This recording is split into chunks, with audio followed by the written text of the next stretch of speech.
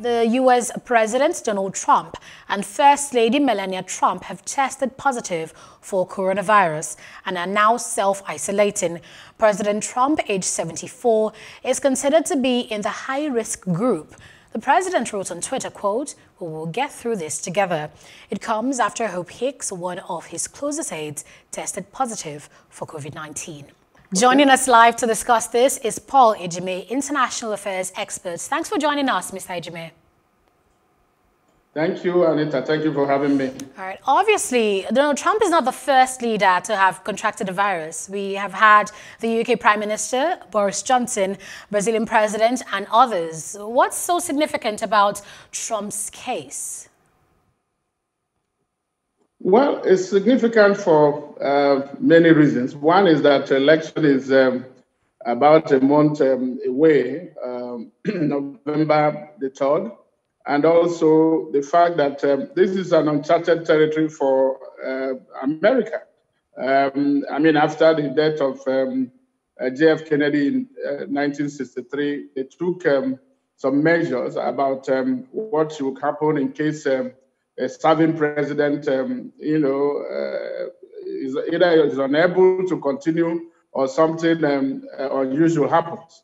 And this is another unusual case, but uh, this time uh, election has not been held. So there are so many permutations. And remember that they are in the middle of a campaign. Uh, in fact, they just had um, uh, one of the three um, presidential um, debates uh, that is supposed to take place. There will be uh, vice presidential debates. And what um, COVID 19 has also done in America, America, uh, you know, is leading the rest of the world in, in, in terms of deaths. It has of the it has um, um, you know more than seven million um, affected people, and then over two hundred and seven thousand um, uh, deaths and counting. So uh, there has been the issue of um, the management of, um, of, of, this disease. Uh, if you remember, opposition have been up in arms saying that um, uh, President Trump has not shown um, uh, uh, leadership. If anything, he's um, not believing the uh, science. He thinks that um, at one point he said it will disappear. It's like a miracle. And then he refuses to put on the mask, the simplest thing that anything. So is really the, the chicken coming home to roost. So do you think there'll be any likely... And um, where America goes from here is, um, you know, uh, uncertain. Hmm. Yes, ahead. I was going to ask if you think his COVID-19 status would likely impact his re-election bid.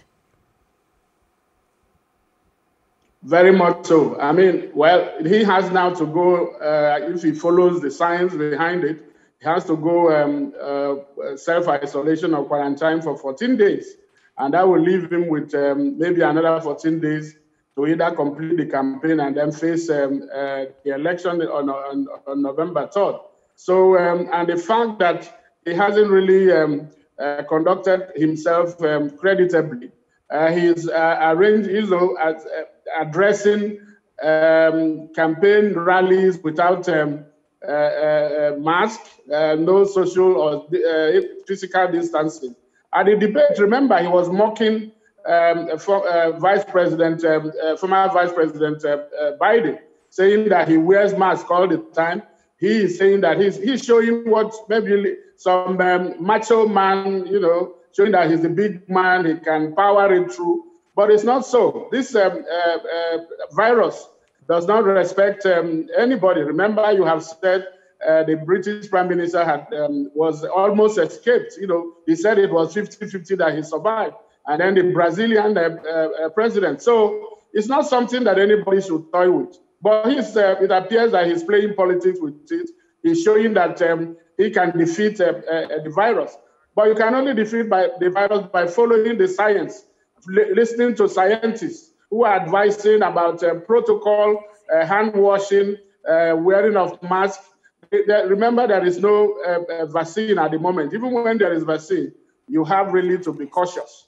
But I don't think uh, the president, uh, the American president, has shown leadership or caution uh, that right, is required. Sir. So that is why it's um, you know very uh, dicey for him mm -hmm. for his re-election. Okay, jumping in quickly, Mr. Ejime, there's a conspiracy theory that this uh, may be intended to draw sympathy votes for Trump and possibly push the potency of hydroxychloroquine in treating COVID-19. Do you think there's any truth to that? Well, there have been as many, uh, you know, you know, uh, conspiracy theories as there have been people offering them. In fact, I've, I've read somewhere that probably uh, he is using this to make sure when he goes into um, uh, isolation, he will come out and then in two weeks' time, uh, bouncing back and saying, well, that uh, hydro, you know, the uh, chloroquine you might mention, that that is what he used because he's been promoting that this drug, and uh, people are saying, well, maybe because of uh, economic interests, and nobody knows. With Trump, really, you can never be too sure. So there, there are, it's flying there, the um, conspiracies, and then uh, those who are pushing them. And um, some people are even saying that um, the whole um, uh, uh, uh, pandemic is, um, is something that has some political undertone or economic undertone. But it has also shown that since you can see people dying from it, um, I think people should take it seriously. If you ask the, the, the Prime Minister of, um, of, of, Britain, I don't think he will um, join those who will be uh, uh, dismissing um, uh, COVID 19 as, as a hoax or something that um, anybody should play with. So I think people should be able to distinguish, remove politics from it, follow the science, and then let's see, because it's not just one country. Remember, indeed, more than 200 countries and, indeed, Mr. and regions we're running out of time at so this moment. Unfortunately, this is where we have to draw the curtains on the conversation. Thank you so much for your thoughts. Thank you for having me.